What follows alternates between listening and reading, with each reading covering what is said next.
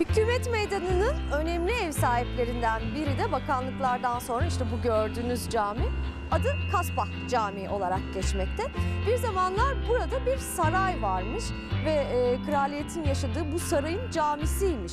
Ancak Osmanlıların Tunus'u fethinden sonra cami halka açılmış ve o zamandan beri de ibadet camide devam etmekte.